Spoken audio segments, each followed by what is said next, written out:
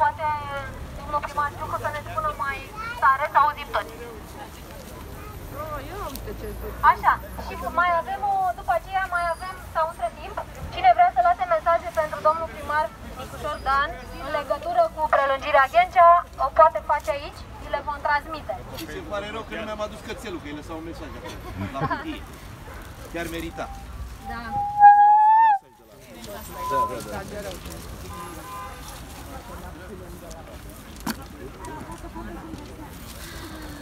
un mesaj de la Marcan.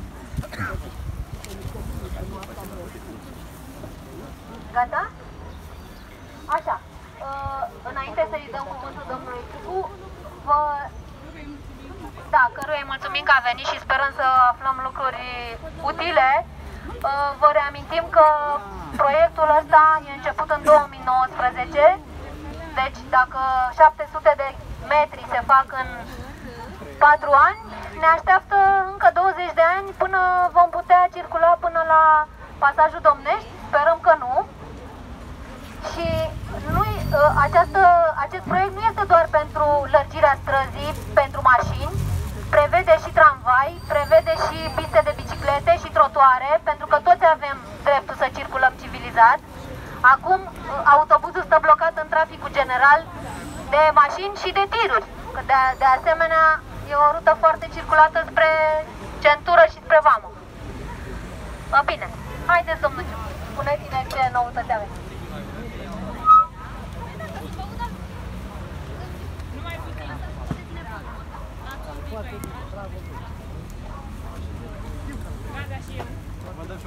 Bună ziua! Am fost aseară împreună cu conducerea PNL sector 6 și USR sector 6. Așa? Așa. Uh, Am fost cu Vlad Voiculescu, cu domnul Alin Stoica, cu Paul Moldovan, Administratorul Public al sectorului 6, la domnul primar general, ca să ne întrebăm ce vă spunem astăzi aici. Uh, De ce am fost noi? Pentru că noi suntem cei care susținem în Consiliul General și doar normal ca să ne dea informații și noi să vă ținem pe noastră informații. În, uh, în acest moment uh, s-au făcut descoperire pe tronsonul numărul 3. Tronsonul numărul, numărul 3 este de la, uh, de la râul Doamnei la Valea Oltului și uh, ceea ce n-am înțeles eu este de ce nu s-au făcut lucrări pe tronsonul numărul 1 care este eliberat de sarcini. Adică am primit uh, la primărie o solicitare să dăm jos reclamele, să dăm jos... Tronsonul 1 este de la capătul tramvaiului 41 și până la Brașov. Uh, Noi am eliberat, am defișat copaci, este eliberat de sarcini.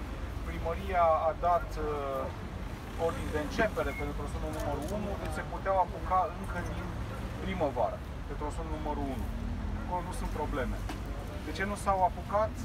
Sunt uh, chestiuni, uh, pare rău să spun, care țin de comunicare și de înțelegere între Direcția de Investiții la PMV și compania care face lucrările. Aici este problema. Am încercat încă de acum 6 luni să mă implic și să luăm o decizie. Este clar că compania nu are capacitatea să facă aceste lucrări. Și aceasta este problema. Deci problemele nu sunt nici financiare în acest moment, nu sunt nici uh, de altă natură, sunt efectiv de capacitatea, țin de capacitatea companiei. Ce pot să vă zic este că sectorul 6 a dat 10 milioane de lei pentru exproprieri și suntem dispuși să ne, com- să ne implicăm mai departe. Din punctul meu de vedere, și am spus și domnului primar general, uh, dacă lucrarea este prea mare și prea complexă, atunci ea trebuie să fie cumva spartă în bucăți. Și am propus o soluție, și o soluție care să fie realistă. Acum, dânsul va- este cel care decide până la urmă. Am zis că într-o primă fază trebuie să fie scos tramvaiul, asta este părerea mea și voi argumentez de ce, din proiect, pentru că nu sunt bani. Deci nu sunt bani și de tramvai, ar trebui să fie scos tramvaiul, pentru că dacă se lucrează la tramvai, eu nu cred că în următorii 4 ani va fi prelungirea Ghencea gata, să vă zic sincer. Și atunci, dacă se lucrează la tramvai și nu sunt puse în conservare lucrările, se va lucra degeaba și se vor pierde bani. Deci primul lucru care trebuie să fie făcut, din punctul meu de vedere, este ca tramvaiul să fie scos și să se meargă cu proiect separat pe port, unde sunt finanțări pentru proiecte europene. Păi da, dar spațiul tramvaiului e pe mijloc. Exact.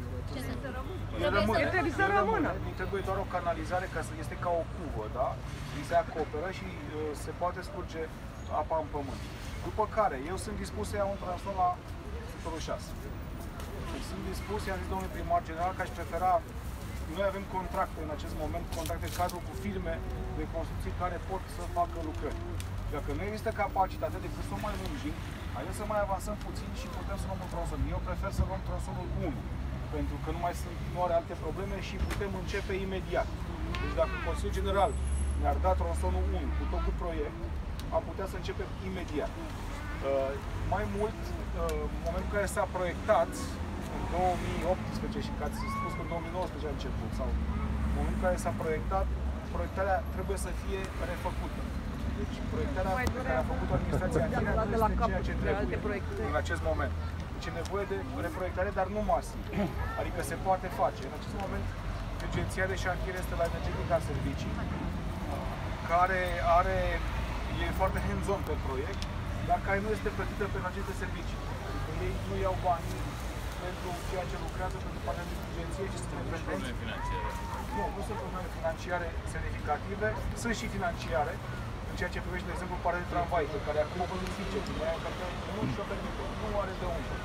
Dar eu am zis așa, hai să termine Trustul Metropolitan de Construcții, tronsonul 2, cel pe care lucrează, da, de la Brașov la Valea Oltului și, scuzați-mă, la, la drumul Doamnei, eventual să dea jos, pentru că acum descoperire, să dea jos construcțiile de acolo, să livreze terenul și eventual să se apuce și de acest tronson. Iar Tronsonul 4, cel, cel unde ne aflăm acum, ar trebui, din punctul meu de vedere, rapid scos la licitație.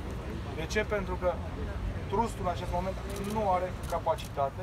Noi, primarii 6, ne putem asuma, dacă domnul primar general este de acord, tronsonul 1, chiar dacă ne va costa foarte mult, dar este prioritară această dată și atunci am mai câștigat timp. Dacă să ne imaginăm cu actuala capacitate administrativă, uh, trustul metropolitan să facă într-un timp decent toate lucrările, vă zic, nu au această capacitate. Nu știu dacă se concentrează mai mult pe doamna Ghica, nu știu dacă sunt în altă parte, dar e, pe forțele pe care le-am văzut până acum uh, uh, angajate pe prelungirea Lucrează Ghencea, sâmbătă ca uh, privați, nu, lucrează e clar că seara. nu, că nu se avansează cu direcția care trebuie.